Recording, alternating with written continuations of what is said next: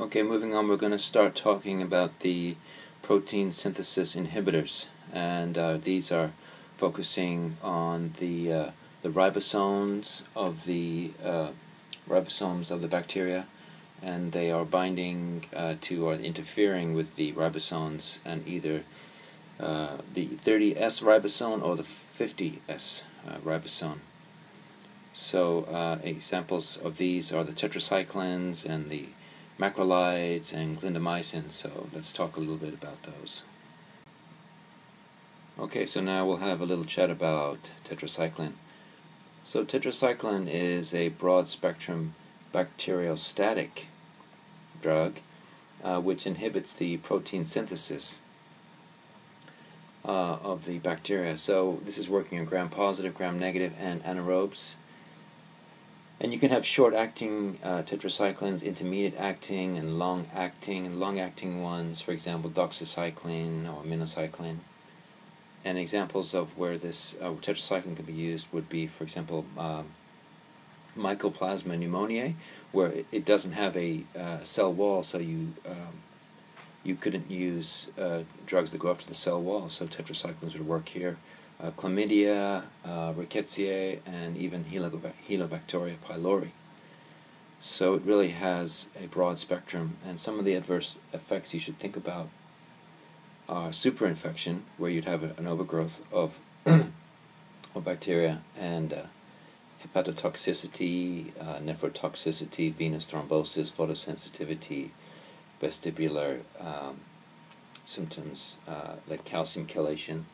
And for doxy doxycycline, um, although there's no renal adjustment required, um, if you're taking anti-seizure meds, barbiturates, alcohol, it's going to decrease the half-life of doxycycline. And the reason for this is the cytochrome P450 in the liver is going to be um, increase what's happening. It's going to it's going to decrease the half-life of the drug because it's work the P450 is working overtime so it's uh, the drug is going to be cleared uh, faster uh, from the uh, from the liver.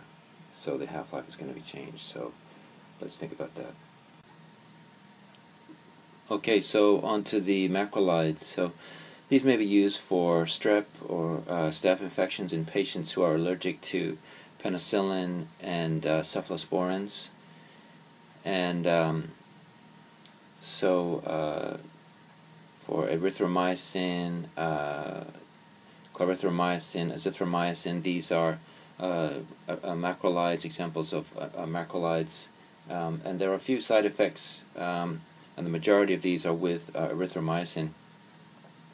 Uh, so, um, looking at the side effects, there's uh, problems with gut motility, hepatotoxicity, um, acute cholestatic hepatitis, and one of the well, the main things here is that uh, it, it uh, inhibits uh, cytochrome P450 in the liver. Um, so it's not going to be uh, metabolizing the uh, drugs so well. So it's going to be a problem if you are taking uh, theophylline um, for your lungs, warfarin, cyclosporine, meth methylprednisone, or digoxin for your heart uh, it's going to uh, to slow down the metabolism of these uh, of these drugs.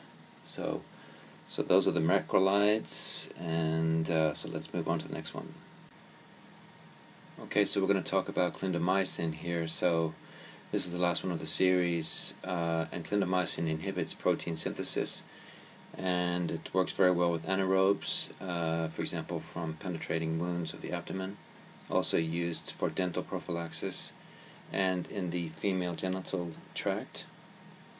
Um, it's also used for, um, well, intravaginal uh, clindamycin is used to reduce preterm birth in women with abnormal genital tract flora. Uh, the abs, some of the adverse effects, GI upset, impaired uh, liver function, neutropenia, and one of the things you have to be careful about clindamycin is that it might cause an overgrowth of C. diff.